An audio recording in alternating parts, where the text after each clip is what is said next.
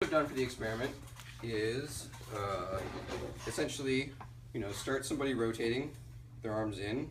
We usually, we just got these recently, but it, it just exaggerates the effect a little bit more.